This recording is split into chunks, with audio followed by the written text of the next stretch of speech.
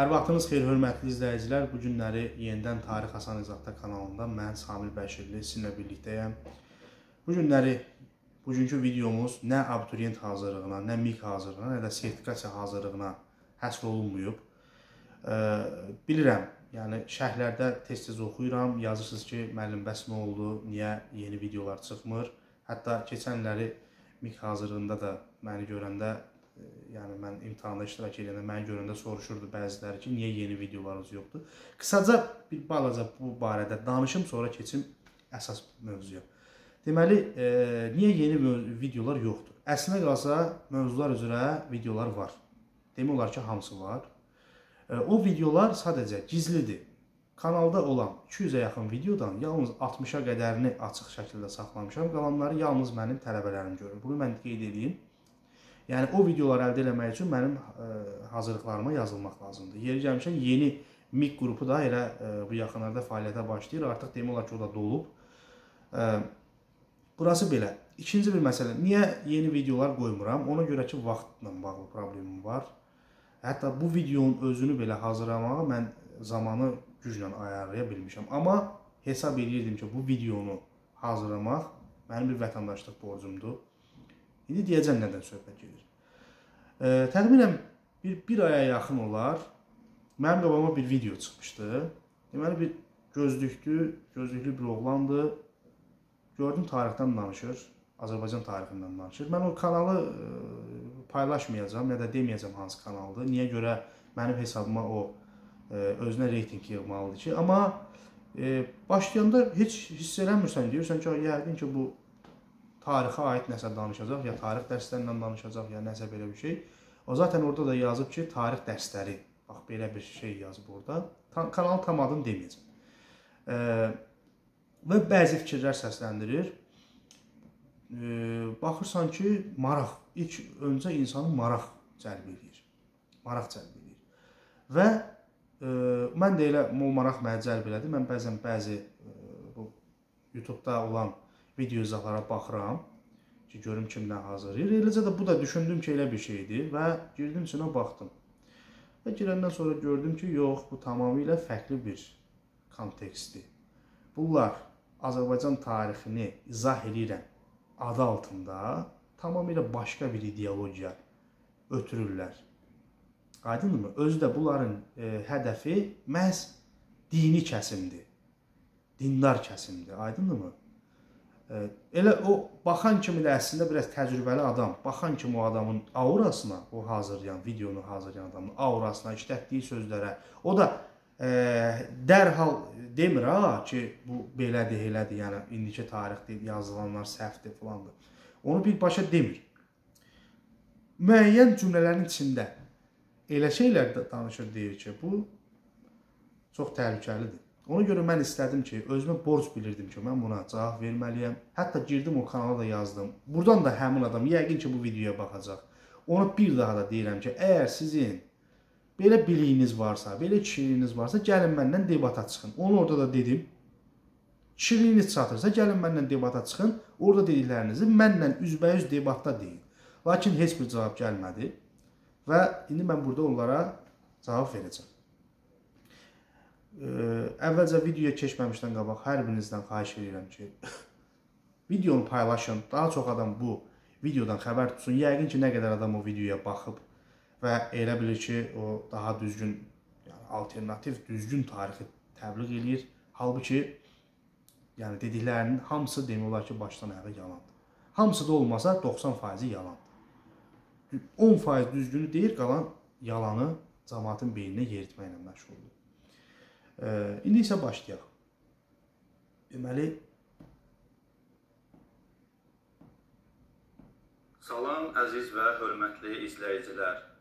Azərbaycanın həqiqi tarixinin tədrisinə bu video ilə start veririk. Həqiqi tarixinin tədrisinə start verirlər, fikir ver. Bax bu sözünü deyir. Yəni biz həqiqi tarixi tədris edirik. Digərləri yalandır. Bir şey mən deyim sizə. Baxın, bir şey mən başdan deyim. Mən də bu fikirlə razıyam ki, bizim məktəb dərsliklərində qeyd olunan tarix, xüsusən Azərbaycan tarixi 90 90 da olmasa bir xüsusən də onun qədim dövrü. Qədim dövrü yalandır, səhvdir. Mən qəbul edirəm bunu. Yəni səhvdir. İbtidai icma quruluşu olsun. Ondan sonra Albaniya Atropatena dövrü olsun, Manna dövrü olsun. Orada deyilənlərin heç olmaya 50% səhvdir. Bunu mən deyirəm sizə. Sovet dövründən qalan ibtidai icma quruluşu konsepsiyası ilə biz, gedirik. Yəni Sovet dövründə deyirdilər ki, məsələn deyək də bu Neandertaldan Homo sapiens yarandı və s. və ilaxır. Halbuki müasir elm sübut edib ki, Homo sapiens də, Neandertal da, bacarıqlı insan da üçü də eyni dövrdə yaşayıblar. Bunu sübut edib. Sadəcə bizim bu tarix yazarlar, kitab yazanlar da belə deyək. Onlar sadəcə belə deyək, özlərinə əziyyət vermək istəmir. Wikipediadan kopyaladığı nə varsa hamısını yazırlar. Bu da olur tarix dərsliyi. Lakin bu heç də o demək deyil ki, bu tipdə adamların dediyi düzdür. İndi davamla qulaq asaq.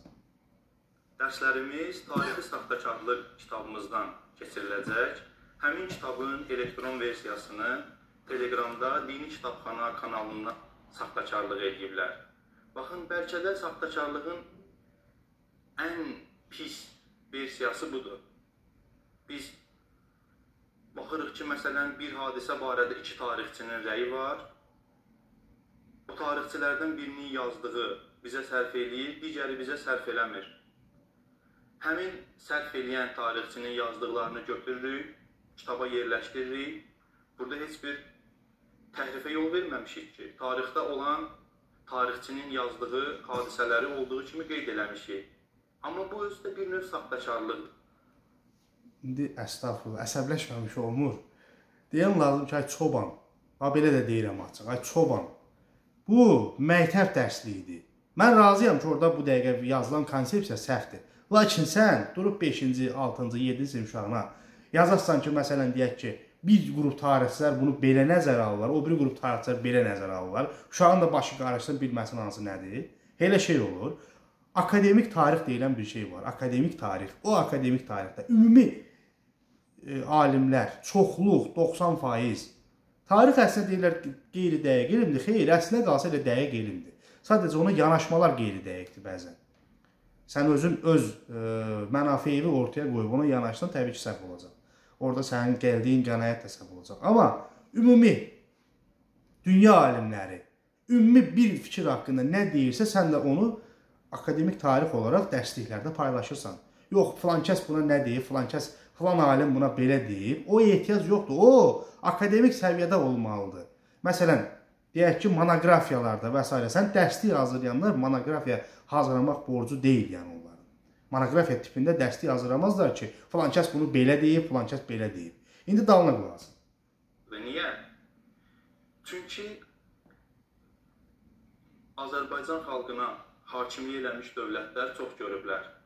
Bu təkcə hazırki müstəqillikdən sonrakı dövrə aid deyil. Sovet vaxtı da bu cür idi, elə Çar Rusiyası da bu cür idi. Məsələn, Sovet vaxtında Nəsimi və Sabir barəsində Sovet dövrünün tarixçiləri nə yazırdılar? Onları xalqa ateist kimi təqdim edirdilər. Aydındır. Dinə, İslama, Allaha, Əhl-i yazılmış şeirləri də görürdülər. Həmçinin bilirdilər ki, aydın məsələdir də. Yəni indi Əhlibeyt, Allah falan bunları da qatda ortaya. Yəni artıq bu deməkdir ki, yəni Allah mən Allah adamıyam. Allah nə deyirsə mən də ondan gedirəm. Deməli mənim dediyimdə səhv olmaz. Mən Allahın dediyi ilə gedirəm. Fikir ver. Aha. üzə çıxacaq və çıxır da. Yəni biz tarixi araşdırmağa başlamamışdan əvvəl Bunu bilməliyik ki, əvvəlcə gərək təhlilimizi düzəldək, tarixi olan baxışımızı düzəldək. Bundan sonra araşdırmaya başlayaq. Məsələn, biz də Sabirin 43 yaşına qədərki dövrünü götürüb, həmin dövrdə yazdığı şeirləri xalqa təqdim edək, onun digər şeirlərini gizlədək, yoxa çıxardaq, xalqa deyək, bu insan bu cür Rozaxan, Əhlibeyt aşiqi bu cür olub, bu da saxtakarlıqdır. Bəli, bizə sərf eləyir bu, amma bu düzgün deyil. Çünki gələcək nəsillər ki, onların əlləri bizdən daha çox bu nüsxələrə çatacaq, bəlkə imkanlar olacaq, onlar gedib rahat şəkildə həmin əsərləri orijinalından oxuyacaqlar. Onlar bizim barəmizdə nə fikirləşəcəklər? Bizə saxta Burasın insafən düz deyir. E, burasın düz deyir. Yəni burasını mən də razıyam ki, müəyyən bir şəxsiyyət haqqında danışanda onun haqqında özünə sərf edən sözləri deməməlisən. Hər iki tərəfin deməlisən. Tutalım ki, burasını düz deyir. Yəni Sabir məsələn deyək, ancaq harda müsəlman görürəm, qorxuram. Sovet dövrü bunu belə təbliğ edirdi. Ə, amma məsələn onun Əhl-i Beytə də aid şeirləri var falan. Burasına razıyam. Hər ikisini demək lazımdır. Bununla razıyam. Amma axı sən tutalım ki, deyək ki, tarix haqqında danışırsan.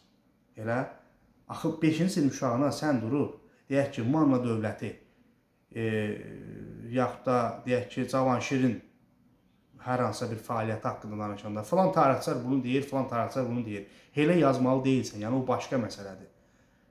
Bu yanaşma tamam fərqli yanaşmadır. E, Cavanşirə, Manna dövlətinə, Albaniyaya yanaşmada onu sən tətbiq edə bilməzsən 5-ci, 6-cı, 7-ci siniflərdə.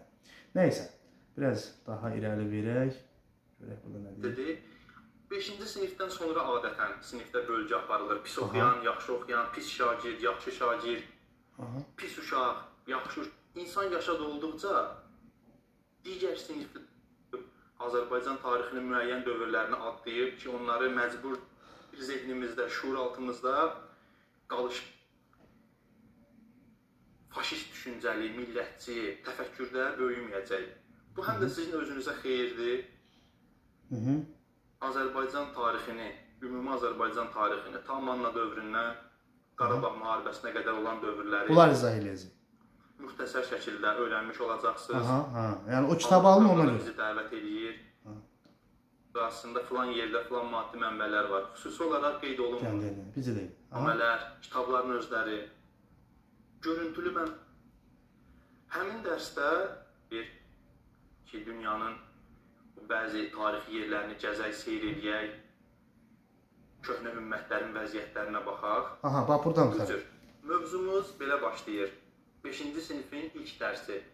Azərbaycan tarixi fənni necə öyrənilir? Diqqətinə Həmin bax. dərsdə tarixi mənbələrin bölgüsü aparılıb. Tarixi mənbələrin bölgüsü, yəni biz hansı mənbələr vasitəsilə tarixi əldə edə bilərik? 4 hissəyə bölünüb. Bunlar burada qeyd etmişəm. Maddi mənbələrdir. Əsasən qazıntılar nəticəsində tapılmış əmək alətləri, silahlar və s. İkinci yazılı mənbələrdir, yəni kitabələr, daşsalnamələr, kitabların özləri. Görüntülü mənbələrdir, yəni tarixi fotolar, tarixi videolar, televiziya verilişləri, bunlar artıq zaman keçdikcə bir tarixi rəng alır. Dördüncü isə şifahi mənbələrdir. Şifahi mənbələr yəni dastanlar, əfsanələr, hekayələr. Azərbaycan tarixi 5-ci sinif dərsliyinin bu birinci bölgüsündə maddi, yazılı və görüntülü mənbələrə dair xüsusi heç bir qeyd verilmir. Ümumi deyilir ki, maddi mənbələr silah əmək alətləridir. Deyilmir ki, məsələn, Azərbaycan ərazisində filan yerdə filan maddi mənbələr var. Xüsusi olaraq qeyd olunmur. Yazılıda da həmçinin, görüntülüdə də həmçinin. Gəlir şifahi mənbələr bölgüsündə misal gətirir. İlk dərsdə uşaqların zehninə salır bunu. Aha, fikir verin. Ən qədim tarixi mənbəmiz, yəni qədim tarixi mənbəmiz, mənbələrimizdən biri şifahi mənbəmiz Dədə Qorqud, kitabı Dədə Qorquddur. Baxın fikir verin haranı vurur. Yəni güya ki, güya bunlar bunu dedilər. Yəni xalqın beyninə yeridirlər 5-ci sinifdəki Kitab-ı Dədə Qorqud bizim mənbəmizdir. E zaten mənbəmizdir də. Zaten Kitab-ı Dədə Qorqud mənbəmizdir. İndi görün ardın necə izah edir. Bir dəqiqə bunu mən sürətini azaldım. Gördüm çox danışır. Dedim biraz sürət deyim ki, tez keçsin. Hə. Diqqətən qulaq asın. Bu artıq uşaqların zehnində həkk olunur. İndi biz əvvəldə qeyd elədim. Məsələyə öz istədiyimiz aspektdən baxmamalıyıq. Yəni biz deyək ki, bunu bilərəkdən Kitabı Dədə Qorqudun orada adını qeyd ediblər, uşaqların zehnində formalaşdırsınlar ki, biz Oğuz türklərindən yaranmışıq, bu türkçülüyün, millətçiliyin təbliği və digər millətlərdən olan insanların assimiliyat Aha, artıq sən özünü ələ verdin. Deməli sənin dərdin nə iləndir? Türk türkləndir, türklərləndir. Yəni Azərbaycan xalqı bunun dediyinə görə də, yəni davamını da göstərəcəm, sadəcə əvvəlcədən demək istəyirəm. Bunun dediyinə görə, yəni 5-ci sinifdə güya xalqın beyninə yeridirlər ki, bizim tarixi mənbəmiz Dədə Qorquddur və deməli biz türkük. Yəni bunun dediyinə görə o səhvdir. Yəni biz türk deyilik. Yəni artıq buradan anlaşılır bu adamın dərdi nədir. Bu adamın dərdi türklərlədir.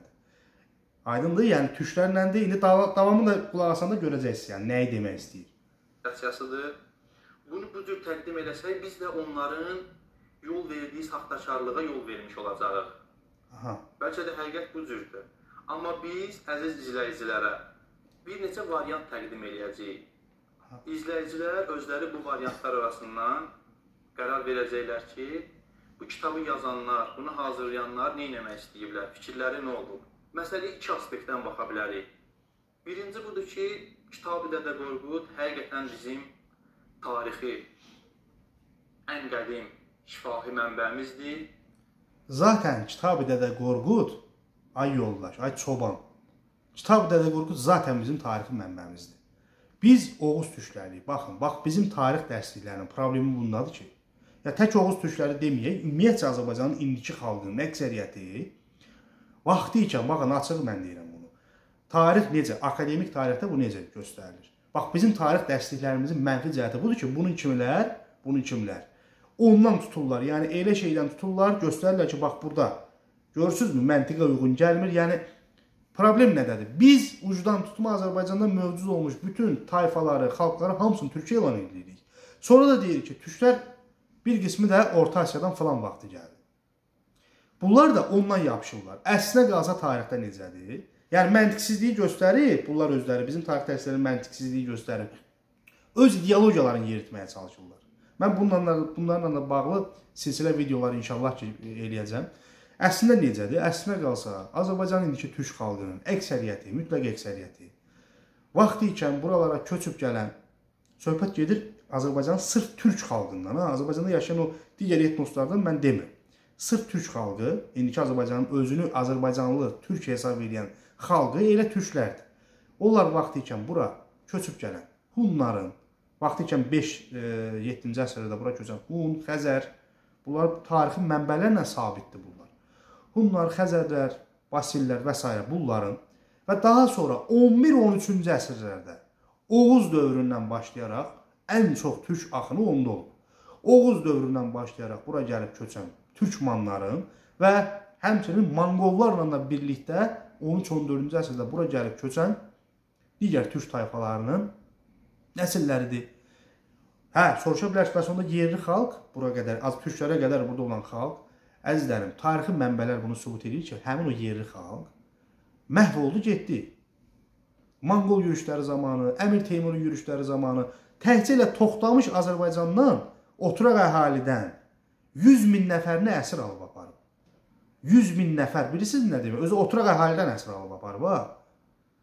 19-cu əsrin Rus kameral statistika hesabatlarında Azərbaycan xalqının əksəriyyəti köçəri qeyd olunurdu.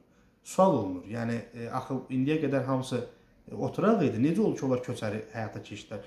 E, yəni e, belə deyək də bu tarix proses bunun əksini gətirməli idi. Əgər həqiqətən bura köçərilər gəlmişdisə, onlar oturaqlaşmalı idilər. Yerli əhalidən az idilərsə, onların içində assimilyasiya olmuşdularsa.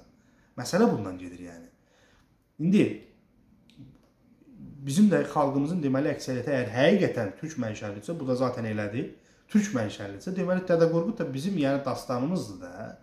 Əksəriyyətin dastanıdır. Yəni indiki Azərbaycan türk xalqının azından bir 60-70% elə həmin Orta Asiyadan bura gəlib burada yaşayan türklərdir. Buna heç bir şübhə yoxdur. Qalan 20-30% bu yerli əhalidir. Hansı ki sonradan çoxluq olan türklərin içərisinə düşüblər türk hökmdarlarının hakimiyyəti altında yaşayıblar və get-gedə xüsusən də üzr istəyirəm. 16-17-ci əsrlərdə xüsusən də daha çox bu dövrdə bu proses daha da sürətlənib. Yəni azlıq qalmışdılar. Zaten çox hissəsi tərk edir, gedir, dağlara doğru çəkilir. Azərbaycanı tərk edir, İrana gedir və s. də. Yəni bu faktdır. Yəni mən buna vaxt sonra inşallah ki, bununla bağlı videolarda hazırlayanda deyəcəm mən sizə. Qalan hissə, o az bir hissə ki, qalır Azərbaycanda. Onlar artıq o çoxluq olan türklərin içərisində əriyir, itir gedir.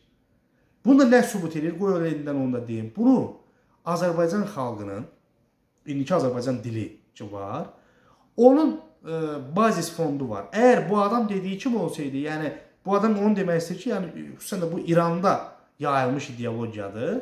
20-ci illərdən 19 20-ci əsrin 20-ci illərindən yayılıb yayılıb İranda. Ki, güya Azərbaycanlılar əslində dillərini dəyişən farslardılar. Belə ideologiya yayılıb da. Hə, Əgər elə olmuş olsaydı, onda bizim xalqımızın indi danışdığımız dil ki var, onun bazis fondu deyilən e, dilin bazis fondu deyilən bir anlayış var. Yəni bu dil, bu fond hardasa bir 150, 200, 300, 150 söz olar ya 200 söz olar. Swedish, ilk dəfə Amerikan alimi Swedish bunu Bizim bundan e, üzr istəyirəm. Swedish bunu yəni kəşf edib də, yəni dilin bazis fondu. O bazis fondunda bunun dediyi fars, azəri, alban sözləri olmalı idi. Yoxdur belə bir şey. Üstəlik də ki, bizim e, toponimlər. Mən demirəm ki, şəhər adları, yox, şəhər adlarını demirəm. Məhz kənd yerlərindəki olan toponimlər 80%-lə 80-70%. Xüsusən də bu Qarabağ tərəfdə, e, Aran tərəfdə, Gəncə Qazax tərəfdə, hansı ki Azərbaycan xalqının əksəriyyəti elə orada yaşayır da, türk xalqından söhbət gedir. Əksəriyyəti zaten oralarda yaşayır. O toponimlərin 70-80%-dən çoxu elə türk mənşəlidir. Qaramanlı, nə bilim, Aybasanlı və s. və ilə axirədə bax belə-belə toponimlərdir. Hamısı türk mənşəlidir. Yəni bu niyə fars mənşəli olmadı ki? Hələ mən mənbələrin məlumatlarını demirəm. Deməli buradan sübut olunur ki, zaten Azərbaycan xalqı elə əksərən türk mənşəlidir. Davamına qulaq asın. Yəni türk mənşəlidir və türk mənşəli olduğuna görə təbii ki, Dədə Qorqud da bizim elə e, qədimlərdən bizim dastanımız olmalıdır. Bu adamın dediyi ilə deyil ki.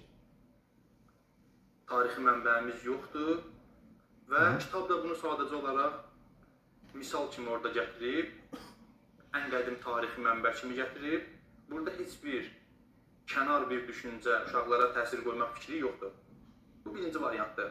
Hı -hı. Bu variantın üzərindən gəlin müəyyən təhlillər aparaq. Aha. Biz qəbul etsək ki, Kitab-ı Dədə Qorqud bizim tarixi ilkin mənbəyimizdir.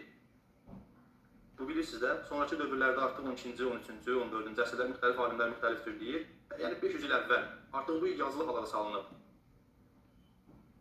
Yəni həm şifahi mənbədir, həm də yazılı mənbədir. Biz də artıq qəbul eləmişik ki, bu bizim tarixi mənbəyimizdir. Burada bizim diqqət eləməli olduğumuz əsas məsələ bir, həmin kitabın Hədə uzatma da tez əlifbası və həmin kitabın dilidir. Aha. Maraqlıdır. Kitabın adı Kitab-ı Dədə Qorquddur. Aha. Yəni Dədə Qorqudun kitabı. Hə. Məsələn, biz bu gün Nizaminin xəmsəsi deyirik. Demirik ki, Xəmsə-i Nizami. Məsələn, biz bu gün Sabirin Hop-Hopnaməsi deyirik. Demirik ki, Hop-Hopnamə-i Sabir. Bəs niyə bizim ən qədim tarixi mənbəmiz Kitab-ı Dədə Qorqud? Dədə Qorqudun kitabı deyil. Ona görə ki, ay çoban, ona görə ki, o o dövrdə yazılanda e, lingua franca bütün şərqdə fars dilində idi və belə deyək də, e, bütün əsərlərin adları, bütün hamısı əsərlərin adları və s. də, yəni bunlar hamısı fars aksenti ilə yazılırdı. İçi yox ha. İçi yox. Əsərlərin adları, məsələn deyək Təskiri Şahi Təhmasib və yaxud da deyək ki, məsələn e, e, Vərqa və Gülşah əsəri əsərlər var da orada. Və yaxud götürək elə adi bir nəyi götürək, elə heç uzağa getməyək. E, Mirzə Fətəli Axundovun əsərlərini götürək. Necədir o? Sərgüzəştdir Vəziri Xani Lənkaram. İçamov türk dilindədir. Və yaxud da ki, götürək elə e, orada Hekayəti Monsieur Jordan. Görürsünüzmü? Bunun da adları fars adı iləndir da, fars dilində. Amma içi təbii ki, türk dilindədir. Bizim indi başa düşdüyümüz dildədir. O demək deyil ki, onun adı o cürdürsə, elə içi də o cür. Ədəbi ənənədir. Burada ədəbi ənənə deyilən bir şey var. O dövrün ədəbi ənənəsi. Aydındır? Bu çoban heç onun için oxumayıb ümumiyyətcə. Bu çoban, çoban, konkret çobandır da bu adam. O adam onun için oxumayıbdı. Oxusaydı elə şey danışmazdı axı. Aydındır? İçi təmiz türk dilindədir. Yəni 12 boydan ibarət, bir müqəddimə 12 boydan ibarət təmiz türk dilində. Özü də 15-ci əsrin 14-cü əsrin sonu 15-ci əsr. Bu dövrün ağqoyunlu ə, ortamında belə deyək də, yəni qələmə alınmış, düzdür, əvvəldən var təbii ki, Dədə Qorqud lap qədimlərdən, hətta Orta Asiyada biz yaşadığımız dövrdən, bizim ulu əcdadlarımız orada yaşadığı dövrdən formalaşıb, orada meydana gəlib. Lakin bizim indi gəlib çatan Dədə Qorqud məhz 15-ci əsrdə yazıya alınıb. Aydındır?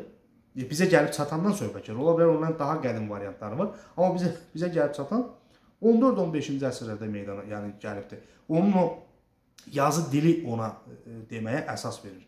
Oxuyun, onu görəcəksiniz. Aydındır? Ya bu çobanın deməklə deyil. Nə olsun ki, özü deyir fars dilində yaz. Sözə bax ha, fars əlifbasında yazılıb. Ay çoban, indi bizim bu dəqiqə latın əlifbamız var. Üzr istəyirəm bu ifadələrimə görə, amma da mən ə, e, əsəbləşirəm. Mən dayana bilmirəm. Bizim bu dəqiqə latın əlifbası var. Belə çıxır ki, bizim dilimiz yəni latın dilidir, latın əlifbasıdır. Bizim dilimiz əlifbamız latın əlifbası olmağına baxmayaraq bizim dilimiz latın əlifbasıdır. E, üzr istəyirəm. Dilimiz yəni latın dili mi olmalıdır əgər əlifba latın əlifbasıdırsa?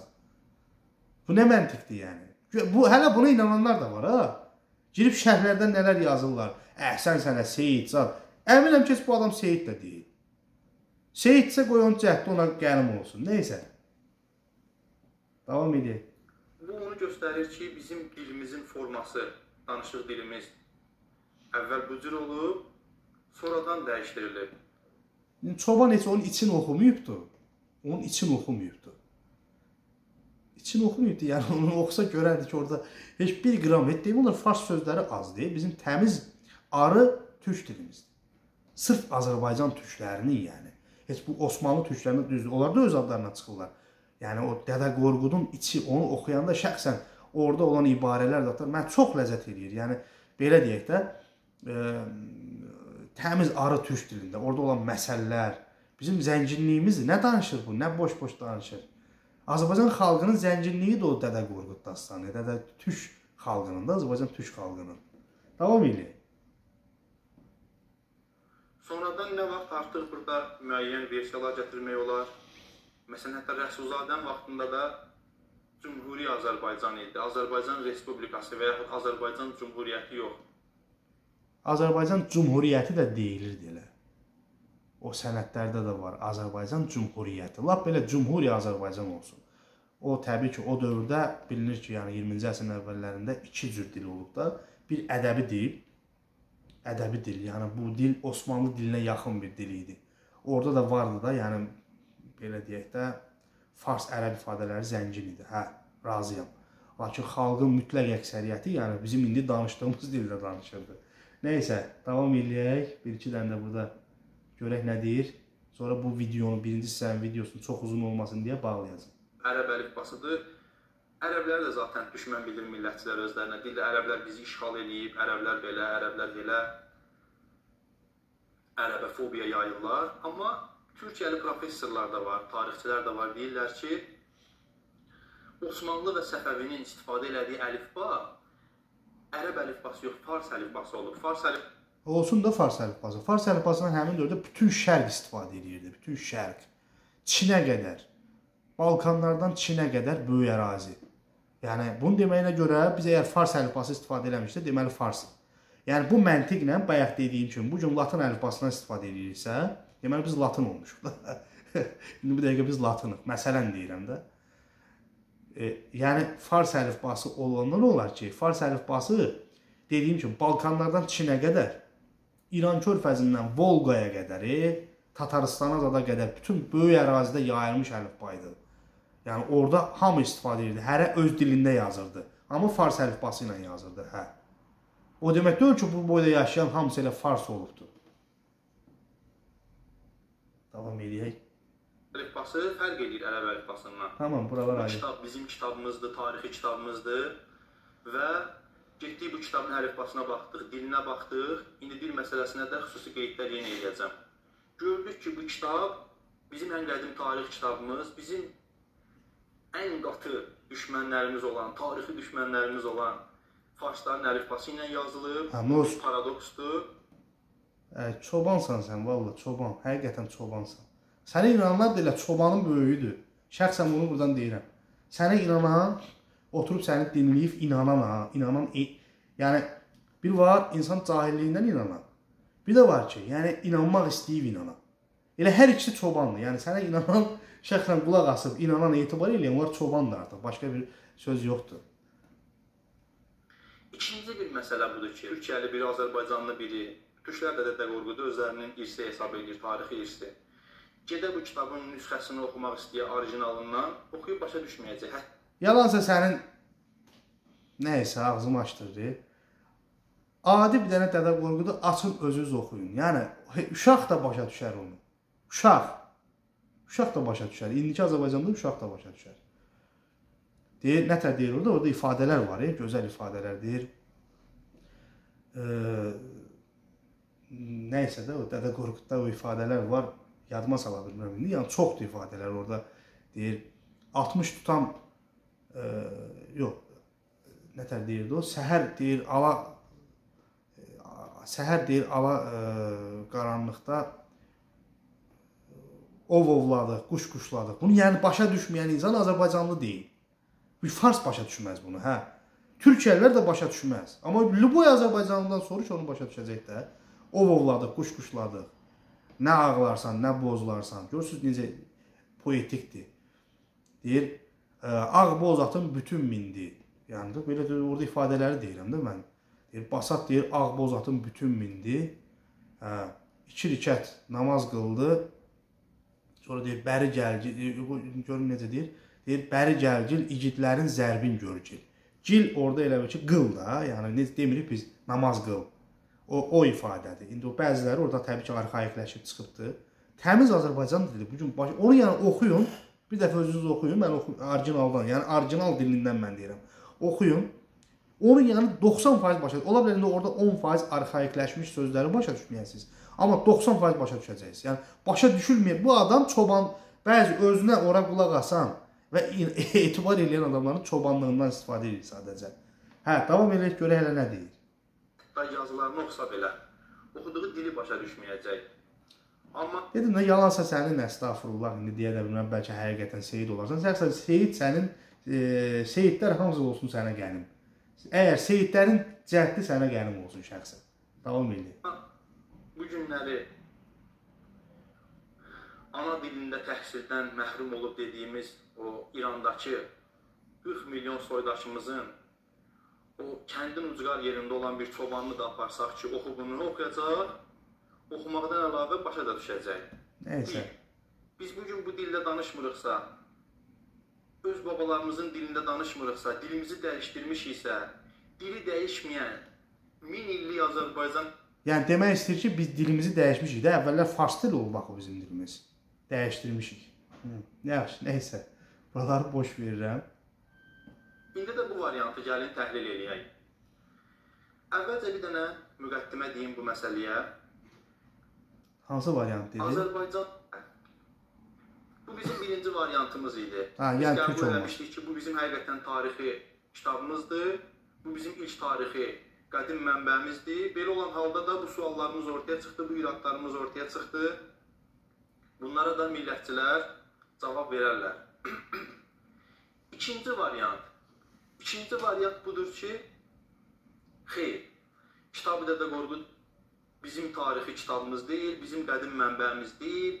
Bu ümumiyyətlə başqa xalqlara məxsus olan bir tarixi əsərdir. Bunu bizə tarixi kitab kimi təqdim eləyiblər. Bizə sanki digər xalqların tarixini transfer eləyiblər. Bizi türkləşdirmək üçün, assimilyasiya eləmək üçün. Bu da bir variantdır. İndi də bu variantı gəlin təhlil eləyək. Əvvəlcə bir dənə müqəddimə deyim bu məsələyə. Müqəddimə deyir kişi. Bilirsiniz ki, Çar dövrü, Sovet dövrü, Aha. bu dövrlərdə Azərbaycanda Moskvadan, Peterburqdan, Rusiyadan gələn tarixçilər ki, onlar dövlətin tapşırığı ilə gəlirdilər. Azərbaycan kimi yerlərdə kəndlərin əhalisini qeydə alırdılar. Aha. Və bunu tarixçilərin də baxın Fikir verin. Baba burası çox maraqlıdır. Bir dənə fikir verin. Bu səsim burada biraz bala, e, sürəti azaldı. Bir dənə sifət almağı alır. Mən onu çəkib göstərmək istəmirəm də. Bir dənə sifət almağı alır. Hə. çoxsu bilmir. Hətta tarix müəllimləri də çoxsu bilmir. Ay, bil- Bunlar Güclü bir şey kəşf edən. Oo, heç kim bilmir ya bunu. Tarixçilər bilmir. Fikir verin ha. Tarixçilər bilmir. Heç kim bilmir. Bir dənə bu bilir. Bu da hardan bir yəqin buna vəhy gəlir də. Hə. Yax. hal-hazırda rus mənbələrindədir. Aha. Azərbaycan mənbələrində bunlara rast gəlmək çox çətindir.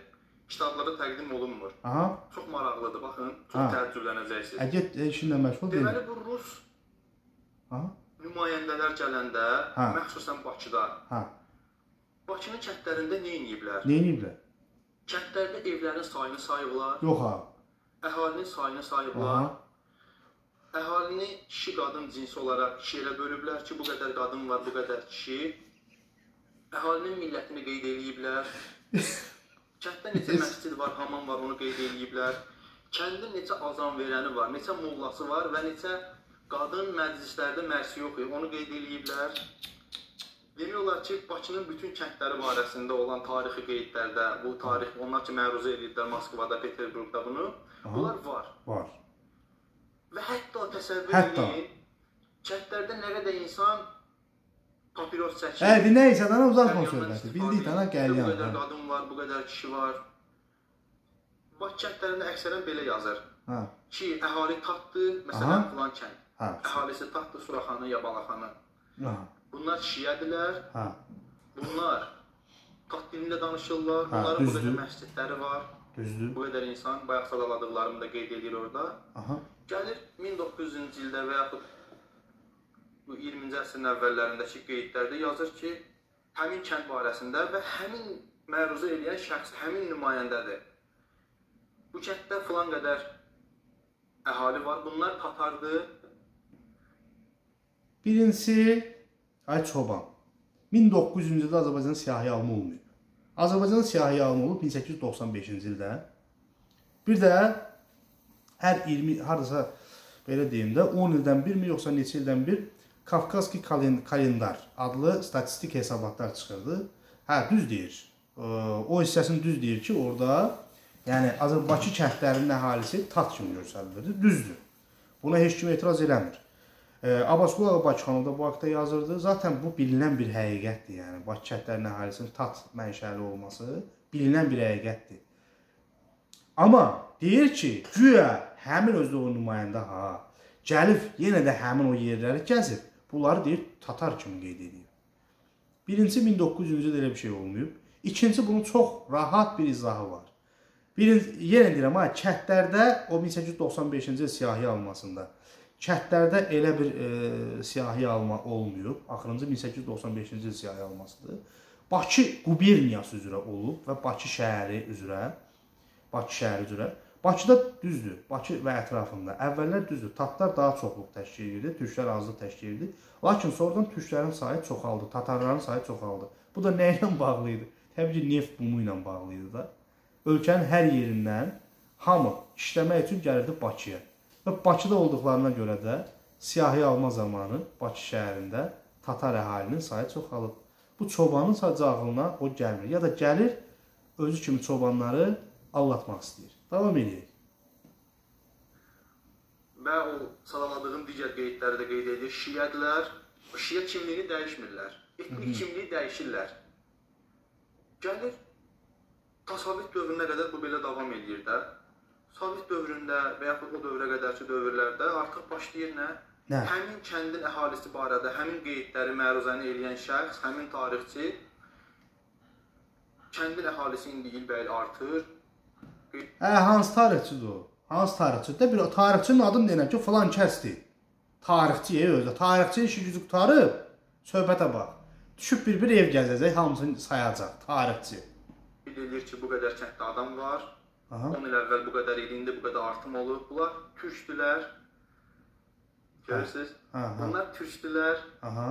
Bunu 30-40 il əvvəl tat yazırdı. Sonra tatar yazdı, sonra bunu Gözünün içinə qədər yalan deyir.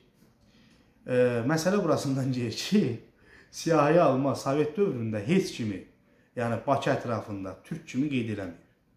Yenə də tat kimi qeyd edir. Ümumi götürüb ki, məsələn, e, ümumi götürüb ki, Bakı şəhəri üzrə məsələn bu qədər tat e, tat yaşayır, bu qədər türk yaşayır. Bəli, türk 1937-ci ilə qədər qeyd olunub, amma tatlara heç kim türk deməyib. Məsələ burasındadır. Tatlara.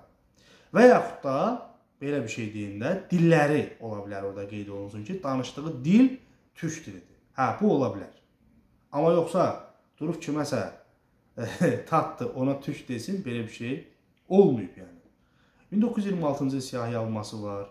Ondan sonrakı siyahı, hə, harda dəyişiklik olub? 30-cu illərdən sonrakı siyahı almalarda bütün Azərbaycan xalqı, içində Talışı da, Tatı da, Türkü də, hamısı bir yerdə Azərbaycanlı adlanıb. Bu var. Amma yoxsa ondan qabaqki vaxtlarda bu da Azərbaycançılıqla bağlı idi. Demək olar ki, digər xalqlar artıq orada nəzərə alınmırdı. Hamı Türk də, Tat da, Talış da, Ləzgi də, digərləri də hamısı bir yerdə Azərbaycanlı olaraq qeyd olunmuşdu. İndi bilmirəm bu onu mu deyir, yoxsa başqa bir şey mi deyir? Türkiyələri. Hə, Təbii Türkiyələr. ki, onlar onların bəziləri olub buna etiraz ediblər. Bəziləri sadəcə olaraq məmur olublar da, yəni məmur kimi göndəriliblər, gəlib İran şahı vəfat edəndə onun üçün əzadarlıq məclisi qurur. Ağlayır, nohə deyir. Bu cür. Bunlar bunu bilirdilər. Ona görə başlamışlar artıq assimilyasiya eləməyə. Və bu həm çar dövründə baş verib bu hadisə, həm Sovet dövründə baş Ha. verib, həm də ki, artıq bu müstəqillik illərindən sonra Yəni bu adam demək istəyir ki, xülasədə, yəni güya ki, Çar dövründə, Sovet dövründə Çar, Çar hökuməti ha, Çar hökuməti Azərbaycan xalqını qəsdən türkləşdirib də, yəni türk qoyub adını, tatar qoyub, türk qoyub ki, Azərbaycan xalqı əvvəl fars olub, fars dilində danışır, fars olub və Çar hökuməti dövründə güya onlar bizə tatar adı, türk adı qoymağı ilə biz bir növ türkləşmişik güya da bu adam məntiqi ilə çoban məntiqi də nə deyəsən buna. Yaxşı, bəs onda Xətai niyə deyir ki, e, yetdikcə tükənir e, ərəbin kuyi məskəni, hər nə kim diyarı Bağdad içrə türkman qopar. Bu nə deməkdir bəs onda? Yaxşı. Və yaxud da götürək Qara Yusifi. Özü istəyirəm. E, hə, Qara Yusifi. O Qarayolu Osman bəyə yazdığı məktubda deyir ki, ikimiz də deyir türkmənik. Türkmanlıq da deyir. Bizim xalqın əsl adı da türkmandır. Əsl adı türkman 16-cı əsrdən sonra qızılbaş. Hə. e, Deyir ikimiz də türkmanıq. Niyə görə e, bir-birimizi qıraq? Gəl elə birləşək Cağataylara qarşı çıxaq. Hə. Bəs bu nədir? Və yaxud götürək 14-cü əsr müəllifi Həmdullah Qəzvini. Hansı ki ondan bir əsr əvvəl yaşayan Yaqut Əl-Həməvi yazırdı ki, Azərbaycan xalqının əksəriyyəti, yəni Azərbaycanda yaşayan əhalinin əksəriyyəti Azəridir, Azəri mənşəlidir. Yəni Azəri dilində danışırlar. 13-cü əsr müəllifidir. Ha, Monqol yürüşlərindən elə o dövrdə yaşayıb. Monqol yürüşləri dövründə yaşayıb. Üstündən bir 70-80 il, 100 ilə yaxın vaxtdan sonra həm Həmdullah Qəzvini yazır ki, hansı e, şəhərə ki, məsələn, orada onun Nüsxətül Qulub əsərinin adı belədir də. Məsələn, yazır Təbriz əhalisi türk dilində danışır. Xoy əhalisi e, Kitay e, görünüşlü, o Kitay deyirdilər də, qara Kitay. Qara Kitay Monqol türk mənşəli, yəni gözləri qıyıq da olan onu deyirdilər. E, Türklərdir. Gözəl üzlü türklər və hansı şəhər bir neçə dənə şəhərindən başqa, hansı ki deyir orada Pəhləvi dilində danışırlar. Qalan 90%-ində deyir ki, türk dilində danışırlar. Bu necə olur? Bəs bunlara hara yazaq yaxşı? Yox, Çar Rusiyasının işi gücü qutarıb, Sovet Rusiyasının işi gücü qutarıb ki, Azərbaycan xalqını türk eləsin. Yaxşı, deyək ki, bu indi onun məntiqi ilə güya İran şahı ona yəni gəlib fars İran şahı o dövrdə 19-cu əsr fars dilində danışmırdı, yəni Qacar idi, türk dilində danışırdı. Bunu qoyuram qırağa, heç bunu mən demirəm. Yəni heç onu mən nəzərə almıram ha. Yaxşı, deyək ki, bu Çar Rusiyası bunu İrana qarşı eləyib ki, Azərbaycan xalqının güya İrana rəğbəti ölsün. Bu elə deyir də. Rəğbəti ölsün, yəni İrana ə, rəğbət bəsləməsin. Bəs yaxşı onda axı türklərə rəğbət bəsləyəcək, Osmanlıya rəğbət bəsləyəcək. Hansı ki İrandan qat-qat güclü idi. Ona rəğbət bəsləyəcək axı. Hansı ki elə elə də olmuşdu da. Elə elə idi də. Bəs bunu onda ya belə çıxır ki, Çar Rusiyası İrandan çəkinirdi, amma Osmanlıdan çəkinmirdi. Hansı ki ən çox müharibələri də elə Osmanlıla eləyib. Ən birinci düşməni elə o idi. Buna nə deyirsən? Bu məntiqə nə deyirsən? Yəni bu gülməli məntiqdir, bilirsinizmi necədir? Hörmətli izləyicilər, yəni düşünürəm ki, 45 dəqiqə bəs eləyər bunun kimi çaqqallara, üzr istəyirəm ifadəmə görə, amma hələ o ifadə də azdır onlar üçün. Onlara da deyirəm, yəni hünəriniz varsa əgər mənlə debata çıxın və orada düzdür, mədəni olacam, burada belə deməyimə baxmayın. Mədəni olacam, sizin mədəni olduğunuz səviyyədə. Amma siz, e, orada çıxın, kişiliyiniz çatırsa üzbəyüz debat eləyək və o dediyiniz şeyləri mənlə üzbəyüzdə deyin. O dedikləri bütün nə ki var mənbəyiniz gətirin. Dediklərinizi mənlə üzbəyüzdə deyin ki, Azərbaycan xalqı fars olub güya sonradan türkləşib, özü bunu Çar Rusiyası eləyib. Onları məndən üzbəyüzdə deyin, əgər hünəriniz və kişiliyiniz çatırsa. Bu qədər. Baxdığınız üçün təşəkkür edirəm. Hər birinizdən də xahiş edirəm ki, bu videonu bacardığınız qədər çox paylaşın. Kanala da abunə olun ki, e, sizin yəni abunə olmağınız mənim kanalımın inkişafına gətirib çıxarır. Və bu video ilə də bağlı aşağıda öz fikirlərinizi yazın. Like qoymağı da unutmayın. Növbəti videolarda görüşənə qədər. Sağ olun.